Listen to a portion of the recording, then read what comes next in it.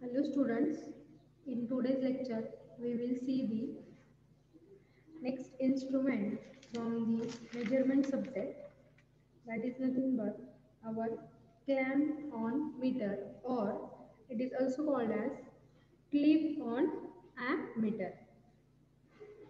So we will see the first working principle of clamp on meter. So basically our current transformer.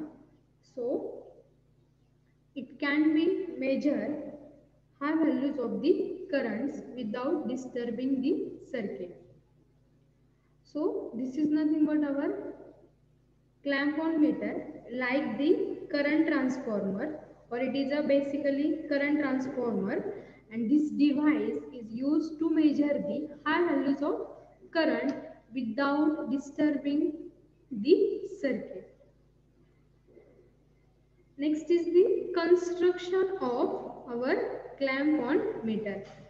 So here simply we have we can see the construction. It is nothing but basically current transformer. So here we can see the two windings.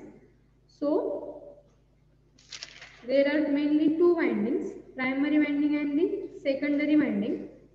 So here we can see simply secondary winding. So this is the part of clamp on meter. Second one is nothing but our split core. So in this section, this is nothing but our split core. Next one is the rectifier unit.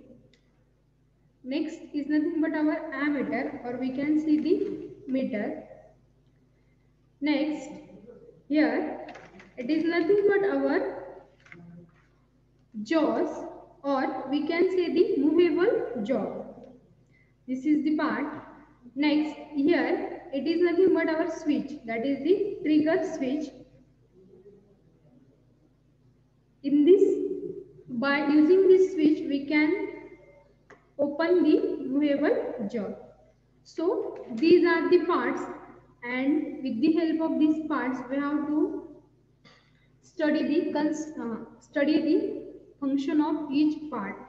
So first one is the split core this is nothing but our split core in this split core use of this split core is nothing but it can be open to accommodate the primary winding.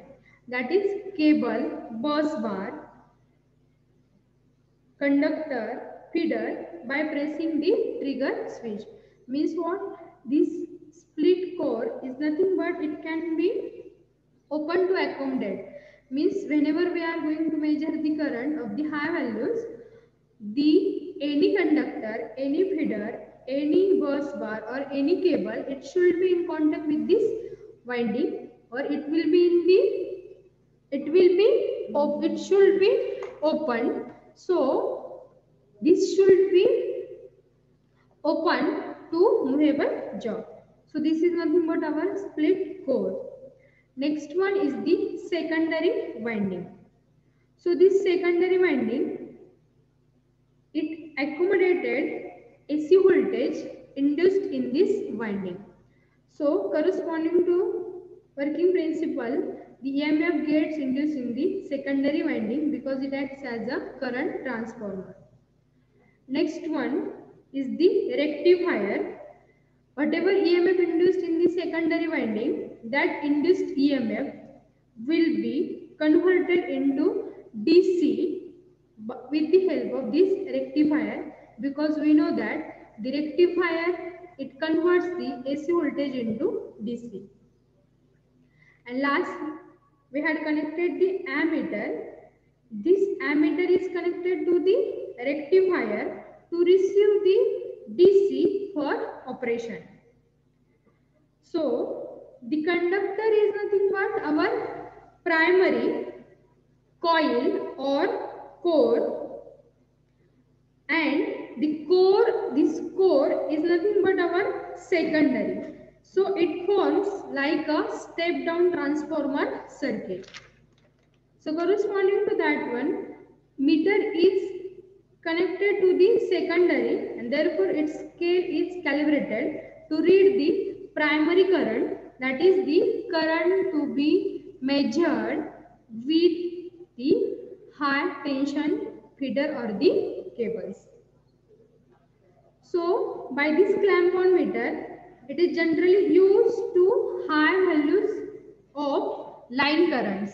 It is measured to measure the high values of current and the accuracy of this instrument is nearly equals to 3% of full scale with conductor is located at the central position of the core. Means what? We have to measure the most accurate measurement that is the most accurate high values of current.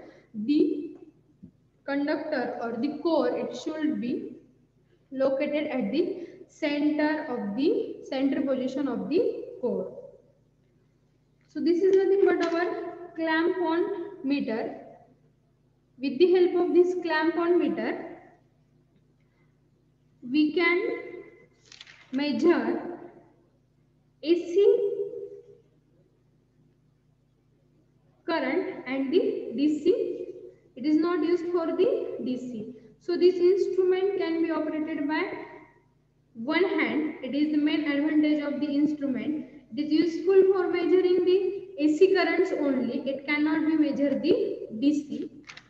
And next one is nothing but the special features of the clamp on meter. It is nothing but it can be used instantaneously for the measurement.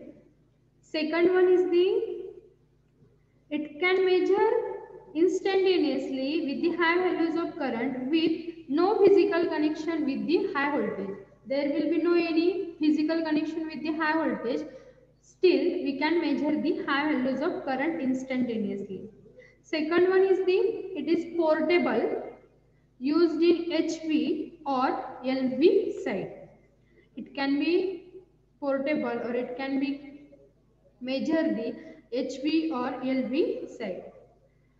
Next advantage or next special features is nothing but its core can be opened with the trigger switch. Means here its core it can be opened with the trigger switch or clamp on jaws. To accommodate the cable, wire, bus bar, fuse, link, etc. to the current measurement. Means what? Whatever we have we have to measure, the core should it core will be opened with the help of trigger switch and this is nothing but special features of our clamp on meter. So the clamp on meter is generally used to measure high values of the current without disturbing the circuit. So now we will see the next another physical diagram for the clamp on meter.